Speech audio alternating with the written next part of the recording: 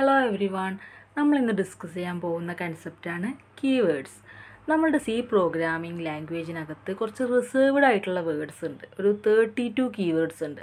അതായത് ഓരോ വേർഡിനും ഒരു പെർട്ടിക്കുലർ ഒരു സ്പെസിഫിക് മീനിങ് ഉണ്ടായിരിക്കും. അത് ഓൾറെഡി കമ്പൈലറിനും സിസ്റ്റത്തിനൊക്കെ അണ്ടർസ്റ്റുഡ് ആയിരിക്കും. അപ്പോൾ നമുക്ക് എന്ത് ചെയ്താൽ മതി?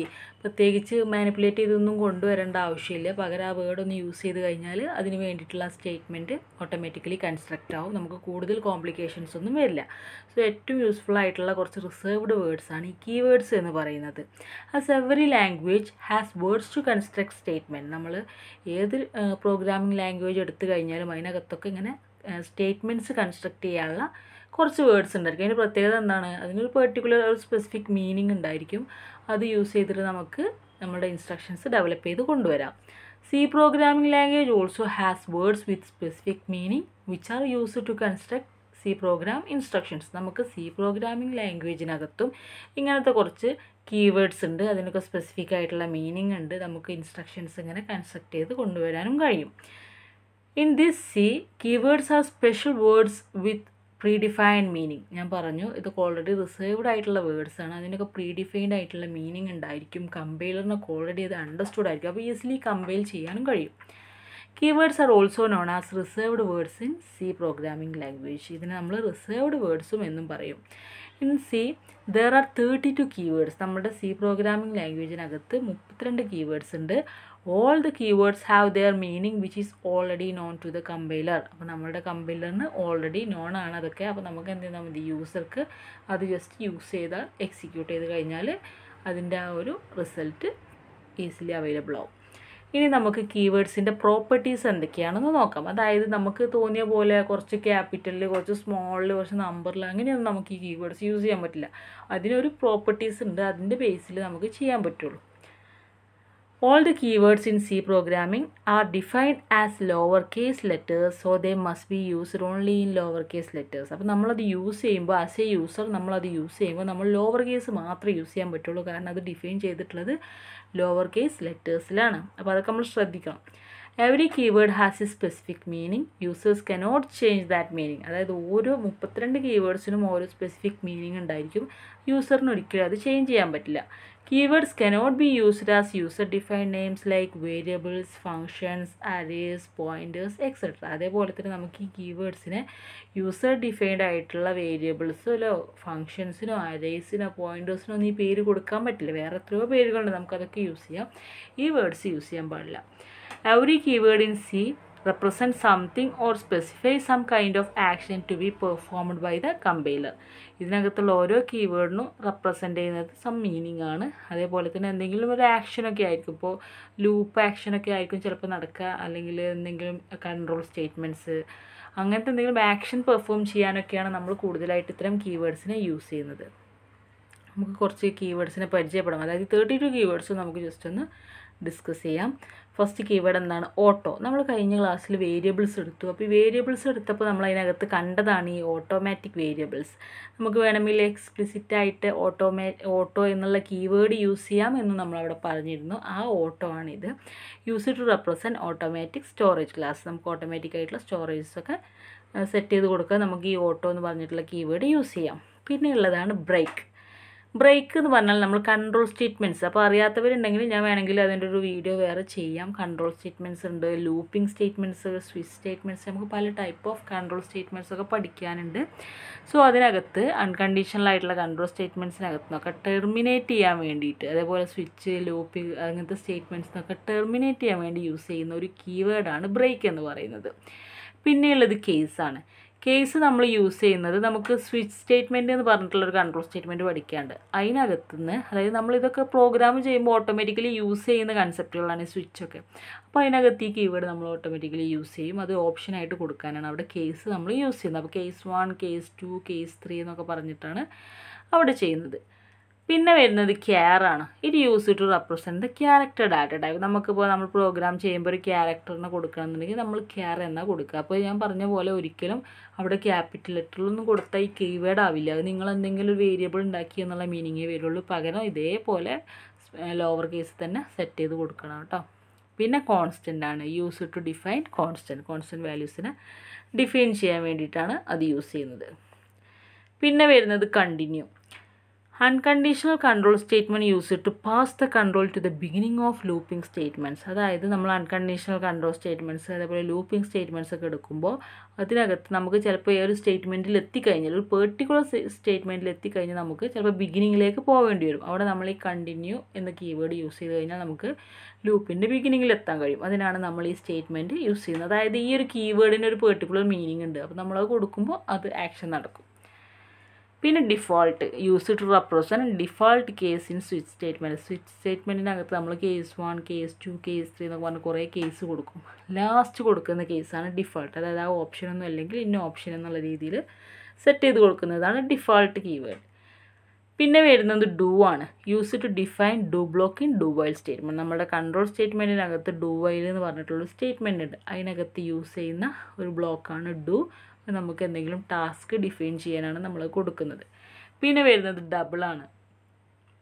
Use to present double data type അതായത് നമുക്ക് ഡാറ്റ ടൈപ്പുകൾ ഒരുപാടുണ്ട് നമ്മുടെ സി പ്രോഗ്രാമിംഗ് ലാംഗ്വേജിനകത്ത് അതിനകത്ത് യൂസ് ചെയ്യുന്ന കുറച്ച് ലെങ്തി ആയിട്ടുള്ള വാല്യൂസ് ഒക്കെ ആകുമ്പോൾ നമ്മൾ ഇന്റീജറിനേക്കാൾ സൈസ് കൂടിയതൊക്കെ ആകുമ്പോൾ കൊടുക്കുന്ന ഒരു ടൈപ്പാണ് ഡബിൾ പിന്നെ എൽസ് ആണ് next use to define false block of ഈ സ്റ്റേറ്റ്മെന്റ് നമ്മുടെ കൺട്രോൾ സ്റ്റേറ്റ്മെന്റിനകത്ത് ഈഫ് സ്റ്റേറ്റ്മെന്റ് ഉണ്ട്. അതിനകത്ത് ഈഫിന്റെ ഈഫ് ആണെങ്കിൽ ട്രൂ വരും.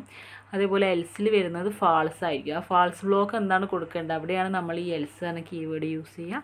അതായത് ഇപ്പോൾ A equal to B or എന്ന് വരില്ല നമ്മൾ അതല്ലെങ്കിൽ ഇത് എന്നുള്ള രീതിയിൽ കൊടുക്കാനാണ് നമ്മളവിടെ എൽ സി യൂസ് ചെയ്യുന്നത്. നെക്സ്റ്റ് എനു അതായത് നമുക്ക് enumerated data types user define ചെയ്യുന്ന എന്യൂമറേറ്റഡ് ഡാറ്റ ടൈപ്സ് ഒക്കെ കൊടുക്കണം എന്നുണ്ടെങ്കിൽ നമ്മളവിടെ എനും എന്നുള്ള കീവേഡ് യൂസ് ചെയ്യേണ്ടതുണ്ട്. പിന്നെ എക്സ്റ്റേൺ ആണ് use to represent external storage നമ്മൾ എക്സ്റ്റേണും എനിക്ക് തോന്നുന്നു വേരിയബിൾസിനകത്തിട്ട് നമ്മൾ ഡിസ്കസ് ചെയ്തിട്ടുണ്ട് ഈ കൺസെപ്റ്റ് നമുക്ക് എക്സ്റ്റേണൽ ആയിട്ട് എന്തെങ്കിലും വേരിയബിൾസോ എന്തെങ്കിലും ഫംഗ്ഷനോ കൊടുക്കണമെങ്കിൽ എക്സ്റ്റേൺ യൂസ് ചെയ്യാം.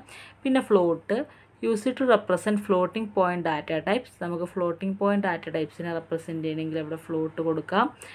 പിന്നെ നമുക്ക് ഫോറാണ്. ഫോർ എന്ന് പറഞ്ഞാൽ ലൂപ്പിംഗ് സ്റ്റേറ്റ്മെന്റിൽ പെട്ട ഒരു കൺസെപ്റ്റാണ് ഡു ഐൽ എന്നൊക്കെ പഠിക്കുമ്പോൾ അവിടെ ഒരു ഫോർ ലൂപ്പും പഠിക്കാനുണ്ട്. ആ ഫോർ എന്നുള്ള കീവേഡ് യൂസ് ചെയ്തിട്ടാണ് നമ്മൾ ആ ലൂപ്പ് സ്റ്റാർട്ട് ചെയ്യുന്നത്.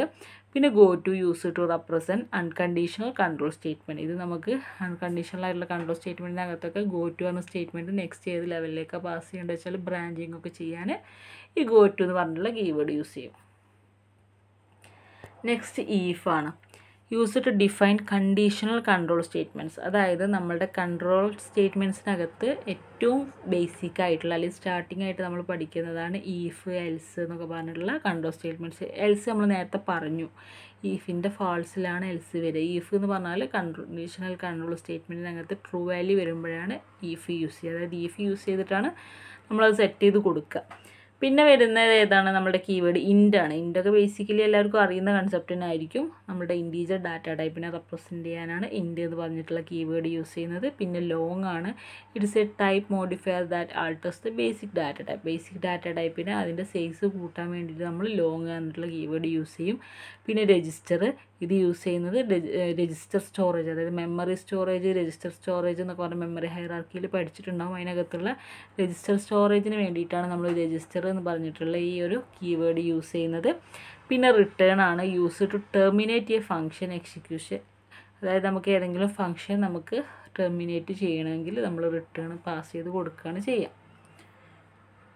ഇനി ലാസ്റ്റ് വരുന്നത് നമ്മളുടെ ഷോർട്ടാണ് it's a type modifier that alters the basic data type ഇതെന്ന് പറഞ്ഞാൽ നമ്മൾ നേരത്തെ ലോങ് ഡബിളൊക്കെ പഠിച്ച പോലെ തന്നെയുള്ള ഒരു മോഡിഫയർ ഡാറ്റ ടൈപ്പിനെ മോഡിഫൈ ചെയ്യാൻ വേണ്ടിയിട്ട്. അതായത് നമുക്ക് സൈസ് കുറയ്ക്കാൻ ഷോർട്ട് യൂസ് ചെയ്യാം. പിന്നെ സൈൻഡ് എന്ന് പറഞ്ഞിട്ടുള്ളൊരു കീവേഡ് ഉണ്ട്. നമുക്ക് വേണമെങ്കിൽ ബേസിക് ഡാറ്റ ടൈപ്പിനെ മോഡിഫൈ ചെയ്യാൻ തന്നെയാണ്. അതായത് സൈൻ ഉണ്ടെങ്കിൽ സൈൻ ഇല്ലെങ്കിൽ സൈൻ കൊടുക്കാനൊക്കെ യൂസ് ചെയ്യാം.